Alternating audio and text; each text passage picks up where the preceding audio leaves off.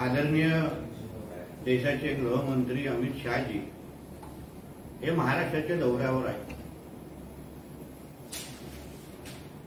आणि त्या दौऱ्यावर टीका करत असताना प्रश्न विचारत असतानाची हिंमत ही संजय राजाराम राऊत आज सकाळी करत होता. होते. तीनशे सत्तर हटवण्यानंतर काय फायदा झाला? आज ही काश्मीरची परिस्थिती कशी आहे? मी संजय राजाराम राऊतना सांगेन तीनशे सत्तर हटवण्याचा काय फायदा झाला हे तुम्हाला भांडूपमध्ये बसून कळणार नाही. कधीतरी तुम्ही काश्मीरला जावा पंधरा ऑगस्टला जावा सव्वीस जानेवारीला जावा आणि तिथे जो तिरंगा जो फडकवला जातो तिथे जो जल्लोष केला जातो आपल्या देशाचा काश्मीर एक भाग आहे. हे आज जे आपण अभिमानाने जे सांगतो ते आदरणीय मोदी साहेब आणि आदरणीय अमित शहाजींमुळेच आहे. पाक व्याप्त काश्मीर आम्ही घेणार असा जाहीरनाम्यामध्ये लिहिलं हो घेणारच. पण कधी घेणार कसं घेणार हे काय या संजय राजाराम राऊत सारख्या तिनपट माणसाला आम्हाला सांगायची गरज नाही. म्हणून देशाचे गृहमंत्री यांच्यावर टीका करण्यापेक्षा आणि अमित आणि अजित पवारजी हसन मुश्री छगन भुजबलजींचे ओझे आम्ही उचलतो असं सांगण्यापेक्षा संजय राजाराम राऊतचे उदय उदय हे शरद पवार साहेब आणि उद्धव ठाकरेजींनी किती काळ उचलावे? कारण का हा संजय राजाराम राऊत आता सगळ्यांवरच दोईजड झालेला आहे. सगळ्यांचा त्रास झालेला आहे. सगळ्यांची गळ्याची हड्डी झालेला आहे. हे आता हळूहळू सगळ्याच महाविकास आघाडीच्या नेत्या मंडळानं कळून चुकलेलं आहे.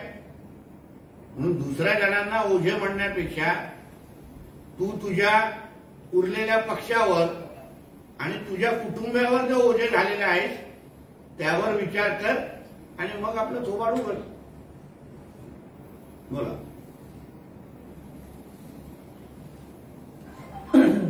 साहेब संजय राऊत असं म्हणतायत की अमित शहा यांना लाज वाटायला पाहिजे. महाराष्ट्रात येतात आणि महाराष्ट्रातल्या जनतेचं मनोरंजन करतात. कधी मोदी येतात कधी अमित शहा येतात. तीनशे सत्तर कलम आपण काढलं आणि त्याला शिवसेनेने पाठिंबा दिला होता. आम्ही त्यांच्यासोबत नव्हतो तरी आम्ही पाठिंबा दिला होता. अमित शाह साहेब आणि मोदी साहेब महाराष्ट्रामध्ये येतात. महाराष्ट्राला काहीतरी देण्यासाठी. महाराष्ट्राला मोठं करण्यासाठी. तुझ्यासारख्या महाराष्ट्राची बदनामी आणि महाराष्ट्राची गद्दारी करण्यासाठी येत नाही. तुम्ही महाराष्ट्रामध्ये राहून महाराष्ट्राचे सुपुत्र स्वतःला म्हणतात आणि ह्याच महाराष्ट्राला डुबवण्याचं काम संजय राजाराम राऊत आणि त्याचे मालक करतायत. म्हणून अमित शहाजींचा दौरा हा महाराष्ट्राच्या हिताचा आहे. आणि हो तीनशे सत्तरसाठी तुम्ही पाठिंबा दिलात. कारण का तीनशे सत्तरसाठी पाठिंबा नाही दिला असता तो लोकांनी मातोश्रीच्या बाहेर काढून तुमच्या मालकाला चपला मारल्या असता. कारण का तीनशे सत्तर हटवावं हे जसं वर्षानुवर्ष आपल्या सगळ्यांचं स्वप्न होतं ते आद आदरणीय हिंदू हृदय सम्राट बाळासाहेब ठाकरेंचं पण स्वप्न होतं. म्हणून तीनशे सत्तरला पाठिंबा हटवण्याचा जो पाठिंबा दिलेला आहे हे महाराष्ट्र देशाच्या हिताचा होता. आणि तुम्हालाही माहिती आहे की उद्या कशा चपला पडला असता म्हणून पाठिंबा दिलेला होता. संजय राऊत असंही म्हणतात की अमित शहाने आपली स्मरणशक्ती व्यवस्थित करून घेतली पाहिजे. तीनशे सत्तर कलम हटवून काश्मीरमध्ये काय दिवे लावले? काश्मीरचं नाव घ्यायची तुमची लायकी नाही. काय दिवे लावले ना? तर मी संजय राजाराम राऊतला सांगेन एक हातात दिवा घे आणि पंधरा ऑगस्ट आणि सव्वीस जानेवारीला जाऊन जरा बघ. तिथे जो फडकणारा जो काश्मीरच्या चौका चौकामध्ये जो तिरंगा झेंडा आहे ना तो मोदी सरकार आणि अमित शहाजींच्यामुळेच झालेला आहे. फडकतोय. म्हणून काय दिवा लावलाय ना तो जरा दिवा घेऊन जा आणि सगळीकडे बघ काश्मीरमध्ये आणि मग सांग की काय दिवा लागलेला आहे. काश्मीरचा तरुण आजही बेरोजगार आहे याची तुम्हाला लाज वाटली पाहिजे. दोन हजार चौदाला आपली घोषणा होती पाक व्या- पाक व्याप्त काश्मीर भारतात आणू काय झालं त्याचं? त्याचीही लाज वाटायला पाहिजे. काश्मीरमध्ये काय बदल होतोय हे ह्याला भांडूपमध्ये बसून कळणार नाही. आज मोठ्यातल्या मोठ्या उद्योग फाईव्ह स्टार हॉटेल पर्यटनाचे विविध प्रकल्प आज काश्मीरमध्ये उघडतायत. काश्मीरमध्ये चालू होत आहेत तो बदल मोदी सरकारने केलेला आहे. आणि पॅक व्याप्त काश्मीर कधी करणार कसं करणार हे तुझ्यासारख्या तीनपाट माणसाला सांगण्याची आम्हाला गरज नाहीये. जेव्हा अखंड हिंदुस्थान होईल ना तेव्हा तू पण मोदी सरकारचं अभिनंदन करशील एवढं मी विश्वासाने सांगतो. शरद पवारांनी ज्यांना सहन केलं ज्यांच्यावर भ्रष्टाचाराचे आरोप होते त्यांनी पक्षात अमित शहानी त्यांना पक्षात घेतलं. त्यामुळे अमित शहाचे आम्ही आभार मानतो असं एक मिस्किल टोला संजय राऊत पण हे पवार साहेब आणि उद्धवजींचे आभार मानण्याची कधीतरी आम्हाला संधी दे. ज्या दिवशी तुझ्या ढोणावर लात मारतील तेव्हा आम्ही पण पवार साहेबांचा आणि उद्धवजींचे आभार मानतोय आभार मानेन. म्हणून तो त्या दिवसाची वाट आम्ही आतुरतेने कोल्हापूरचा मतदार हा शिवसेनेचाच मतदार होता आणि त्या मतदारसंघात शिवसेनेचा दावा आहे असं संजय राऊत म्हणतात कोण कुठे दावा करणार कोण कोणाचा मतदार आहे हा सांगणारा कोण? ज्याने आयुष्यामध्ये छोटी सरपंचाची पण निवडणूक लढवली नाही. जो काट्यावर राज्यसभेवर पास झालेला आहे तो मतदारांच्या मनातली भाषा करतोय. म्हणून कधीतरी येणारी कधी वॉर्डची निवडणूक लढव आणि मग लोकसभेच्या मतदारांच्या बद्दलचे भाष्य कर. दीपक केसरकर यांच्या दंडावर बेडक्या नाहीत. हा मोती तलावाचा डोंकावळा आहे. सावंतवाडी हिंमत असेल तर निवडून या असं संजय राऊतांनी त्यांना आव्हान केलं. अरे पण हाच दीपक केसरकर ह्या दीपक केसरकरांना घेऊन तुझ्या मालक महाविकास आघाडीची सत्ता असताना मोदीजींकडे युतीचा प्रस्ताव करण्यासाठी घेऊन गेलेला बरोबर. तेव्हा दीपक केसरकर कसे आवडायचे? तेव्हा दीपक केसरकरांना कसे तुझे मालक घेऊन फिरायचे? आणि दीपक केसरकर जे बोलताय हे खरं आहे काय खोटं आहे? हे कधीतरी ठाकरे कुटुंबियांनी समोर येऊन सांगावं? कारण का जे उद्धव ठाकरे दिशा सालियांच्या प्रकरणामध्ये माझा मुलगा चुकलाय आणि त्याला वाचवा ह्यासाठी अगर राणे साहेबांना फोन करू शकतात एकदा नाही दोनदा तर ते मोदीजींना पण भेटू शकतात. म्हणून दीपक केसरकरजी जे बोलले दीपक केसरकरजी जी बोलले त्याची खरं आहे का खोटं आहे हे ठाकरे कुटुंबाने सांगावं ना. हे ठाकरे कुटुंबाने सांगावं की खरंच मुलाला वाचवण्यासाठी मोदीजीकडे घेऊन गेले होते की नाही? कारण का तुम्ही नारायण राणे साहेबांना अगर उद्धव ठाकरे दिशा शालेयांच्या केसमध्ये आदित्यला वाचवा ह्यासाठी फोन करू शकतात तर मोदीजींमध्ये कडे गेलेच असतील. ह्याबद्दलचं स्पष्टीकरण आणि गेल्या दोन आठवड्याचा रश्मी ठाकरे आदित्य ठाकरे ह्यांचा सिनियर रिपोर्ट आणि सगळे लोकेशन हा मोबाईल टॉवर लोकेशन जाहीर करावे. दूध का दूध पाणी का पाणी होऊन जाईल. हिंमत आहे ना सांगायची की बाबा गेले नाही हा, मग प्रकाश आंबेडकरजींना का लिहून दिलं नाही? की बाबा आम्ही कधीही बीजेपी बरोबर जाणार नाही. आदित्य ठाकरे बद्दल जी दिशा सालियांच्या केसमध्ये खळबळजनक खुलासे होत आहेत सत्य बाहेर येत आहे. त्याच्यामुळे ठाकरे कुटुंबाची पायाची खाली वाळू सरकलेली आहे. दिशा सालियांचे आई वडील पासून अन्य जे काही विटनेस होते त्यांनी जे काही स्टेटमेंट एसआयटीच्या समोर दिलेले आहे त्याच्यामुळे ठाकरे कुटुंबाला कळून चुकलेले आहे की आदित्य ठाकरे अडचणीत येणार आहे. म्हणून अगर दीपक केसरकरजी खोटं बोलत असतील तर मग रश्मी ठाकरे आणि आदित्य ठाकरेचे सीडीआर रिपोर्ट आणि मोबाईल टॉवर लोकेशन जाहीर करा ना दूध का दूध पाणी का पाणी होऊन जाईल. मन साफ असेल तर जाहीर करण्यामध्ये काय वाईट आहे? प्रकाश आंबेडकर आपल्यासोबत असल्याचं सांगत संजय राऊत असं म्हणतात की आमचा मायावतींवर विश्वास नाही त्या भाजपला अप्रत्यक्षरित्या मदत करत आहेत. प्रकाश आंबेडकरांचं तसं नाही ते महाराष्ट्रातल्या मातीतले डॉक्टर बाबासाहेब आंबेडकरांचे वारसदार आहेत आणि मोदींची हुकुमशाही काढण्यासाठी आमच्यासोबत उभे आहेत. किती उभे आहेत हे आता येणाऱ्या काही दिवसामध्ये कळतील. कारण का आंबेडकर कुटुंबियांना प्रकाश आंबेडकरांना तुमचा मालक किती मान सन्मान देतो हे त्यांनी मातोश्रीवर त्यांनी फोन केलेल्या अपमानानंतर कळलेलं आहे. म्हणून येणाऱ्या दिवसामध्ये प्रकाश आंबेडकरांचा चित्रपट रिलीज होईल.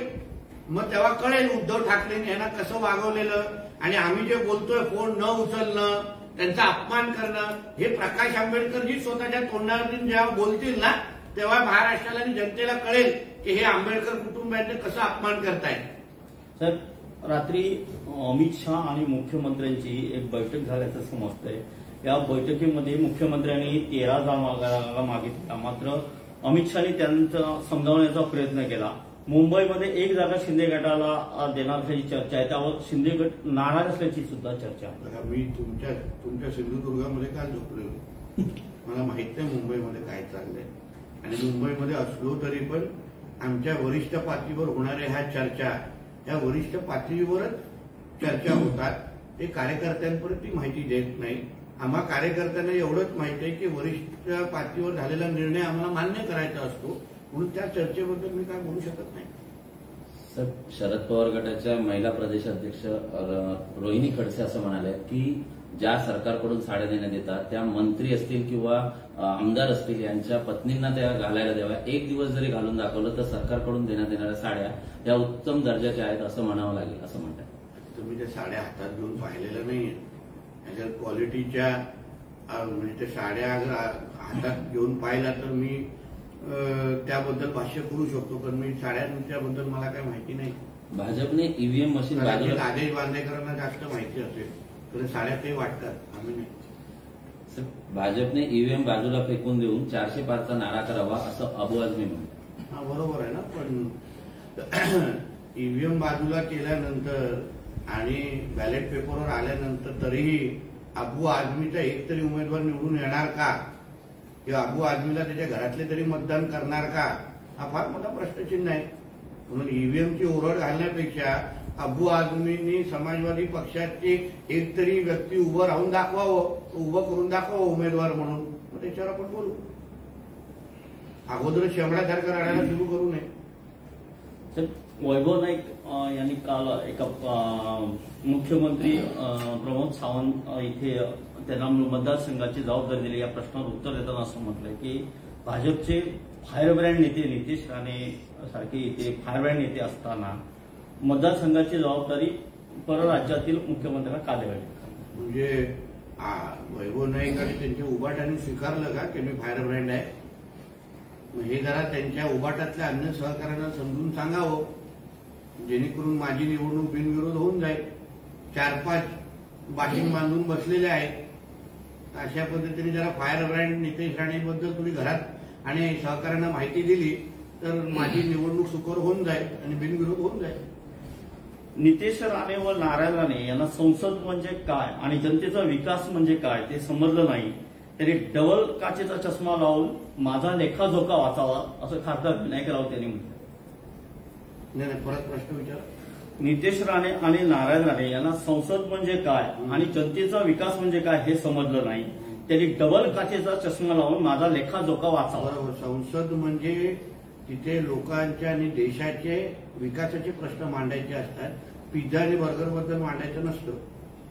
की पिझ्झा आणि बर्गर खाऊन पोट किती अजीर्ण होईल असा प्रश्न मांडणारा हा एकमेव खासदार मी तेव्हा बघितलेला आहे. बघितलाय. आणि त्यांच्या लेखाजोख्यामध्ये जसं काल मी सांगितलं त्यांचा लेखाजोखा म्हणजे काय कामाचा? नितेश राणेंनी हे शर्ट घातलं. राणे साहेबांनी एवढी अशी गाडी वापरली. राणे कुटुंबियांनी इथे प्रॉपर्टी घेतली. एवढाच त्यांचा लेखाजोखा. बाकी त्यांच्या लेखाजोख्यामध्ये काही जमत नाही.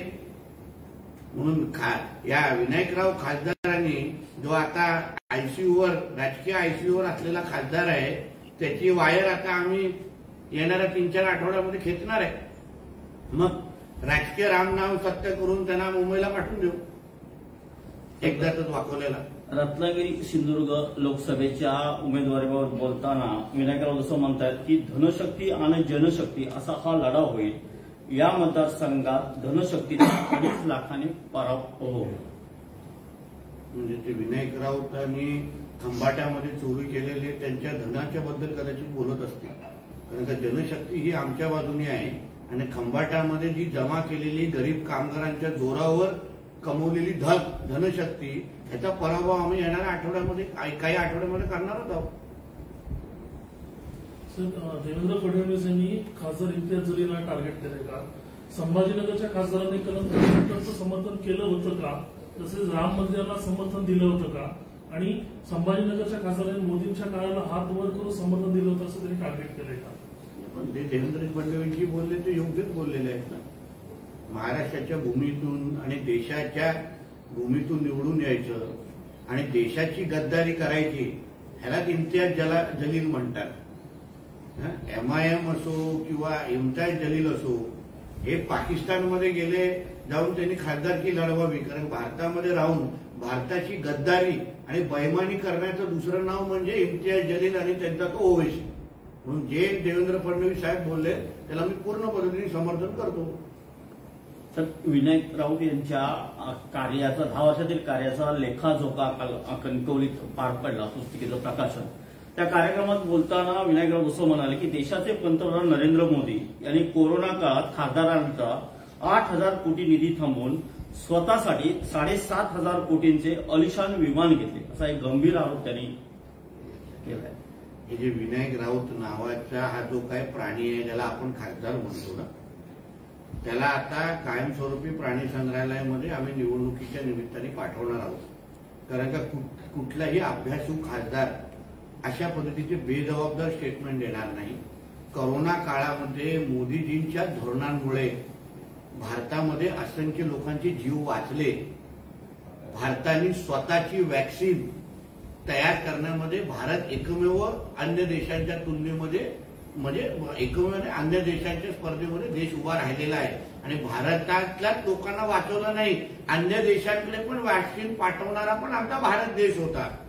कदाचित विनायक राऊतांनी पण मोदीजींनी तयार केलेली वॅक्सिन घेतली असेल आणि म्हणून आता जिवंत राहून तसं भाषण करत असतील. म्हणून कुठेतरी विठाला विनायक राऊतांनी जागलं पाहिजे आणि अशा पद्धतीचे वक्तव्य करता कामा नये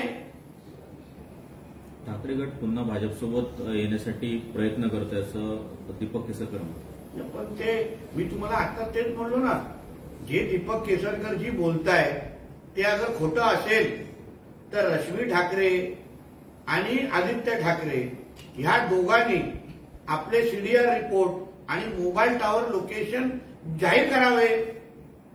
की दोन तीन आठवड्यामध्ये ते दिल्ली गेलेले होते का?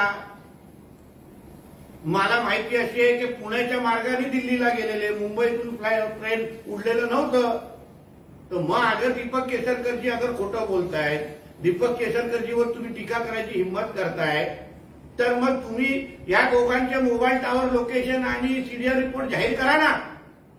जे ठाकरे कुटुंब राणे साहेबांना फोन करून आदित्य ठाकरेला वाचवा. आदित्य ठाकरेला दिशा साले यांच्या प्रकरणामध्ये गोवू नका. अशा पद्धतीची विनंती करू शकतात तर ते पीएमओला निश्चित पद्धतीने जाऊ शकतात. मोदी साहेबांची निश्चित पद्धतीने भेट घेऊ शकतात. मग ह्याबद्दल दीपक केसरकरजी किती खोटाळले आहे नितेश राणे किती खोटाळले आहे हे सिद्ध करण्याची जबाबदारी आता ठाकरे कुटुंबावर आहे. मी ऐकलेलं अंबानी साहेबांच्या लग्नाला जाण्याचा पण तोच उद्दिष्ट होता. जेणेकरून मोदीजींबरोबर अजून जवळीक साधण्याची उद्दिष्ट होता म्हणून आम्ही अगर खोटं बोलत असो दीपक केसरगिरीजीचे आरोप अगर खोटे असतील तर खोटं सिद्ध करण्याची जबाबदारी ठाकरे कुटुंबावर आहे. चला ह्या दोघांचे सीडीआर आणि मोबाईल टॉवर लोकेशन जाहीर करा आणि आम्हाला खोटाने ठरवा. आम्ही महाराष्ट्राची माफी मागतो. महाराष्ट्रातील पक्ष फोडण्याचा हिशोब मोदी आणि शहांना द्यावा लागला संजय राऊत. तू पहिलं शकुनी मामा बनून जे पहिलं राजसाहेबांनी उद्धव ठाकरेंमध्ये वाद लावले. नंतर पवार कुटुंब फोडलं स्वतःच्या कुटुंब फोडलं पाटणकर पाटकर कुटुंब फोडलं. या सगळ्याचा हिशोब पहिला त्या त्या कुटुंबाला दे आणि मग मोदी साहेबांनी अमित शाह साहेबांचा हिशोब माग. तुझा हिशोब फार मोठा आहे देण्याचा. पहिला तो दे आणि मग आमच्या नेते मंडळींबद्दल विचार कर. तर रात्रीच्या अमित शहा आणि मुख्यमंत्र्यांच्या बैठकीमध्ये मुख्यमंत्र्यांनी अठरा जागा मागितल्या. मात्र तेरा जागांचं आश्वासन दिल्याची चर्चा आहे. मात्र त्याचबरोबर रत्नागिरी सिंधुदुर्गच्या जागेसह छत्रपती संभाजीनगर ठाणे उत्तर पश्चिम आणि दक्षिण मुंबई या जागेचा सर्वे पाहून उमेदवार ठरवणार असं असं काही झालं असं शेवटी हे वरिष्ठ पातळीवर होणाऱ्या बैठका आणि चर्चा आहे योग्य पद्धतीने निर्णय योग्य वेळी आणि योग्य स्तरावर घेतला जाईल. येणाऱ्या काही दिवसामध्ये ह्याचे चित्र स्पष्ट होणं येईल. म्हणून मला वाटतं की थोडं आपण थांबावं. शेवटी त्या त्या जागेवर महायुतीचाच उमेदवार जिंकून येईल. एवढा ठाम विश्वास आहे. मग तो कोण असेल? शिवसेनेचा असेल राष्ट्रवादीचा असेल बीजेपीचा असेल ते येणाऱ्या दिवसामध्ये कळेल. पण महायुतीचा असेल एवढं मी स्पष्ट तुम्हाला सांगतो.